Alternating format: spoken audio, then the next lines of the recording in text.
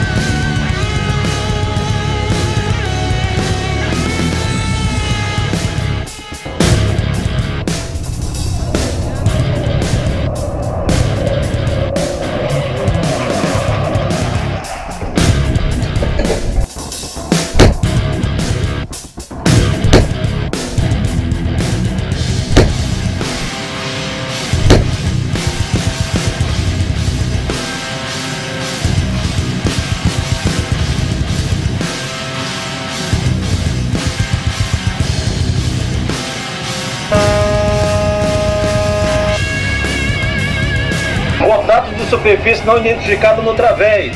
Você está se aproximando de um navio da Marinha do Brasil. Suas intenções não são claras. Você está entrando em situação de risco e poderá ser alvo de medidas de defesa. Estabeleça comunicações agora ou altere o seu rumo de modo a se manter afastado.